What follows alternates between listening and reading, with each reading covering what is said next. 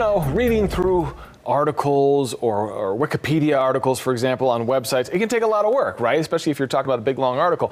What if Google could sort of sum it up for you? Well, that's exactly what a new feature can do. Google's adding this to its Search Generative Experience, their AI powered conversational mode that's part of search now if you turn it on. So you can hover over specific words, it'll give you a preview of their definitions and additional info.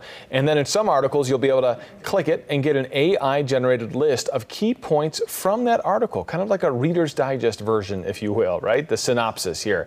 You will have to enable what they call the search generative experience by going to labs.google.com. But once you do that, you should be able to start seeing this type of uh, synopsis, if you will, pop up in your results. Pretty cool. Could yeah. simplify something that you really don't have the time to read through the whole thing, right? Yeah.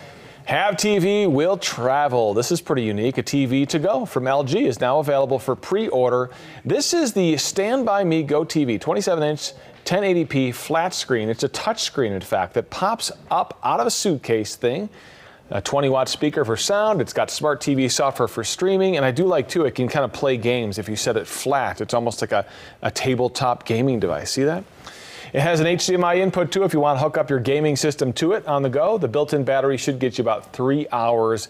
It, uh, it's $1,000, not cheap. Pre-order now, but it won't actually ship until the end of August. That's right. cool. It does. And I was like, okay, it just looks like a computer or a tablet at first yeah. in a cool little briefcase. Like a big tablet. But yeah, it's huge. Yeah. And the multi use of it, I think, is fun. And take it with you on trips or yeah. just a little staycation, even your backyard. I don't know. I think it'd be fun, fun to do a little backyard movie yeah, on the patio, pop absolutely. it up for the kids or something like that. I think it's thousand bucks. Yeah.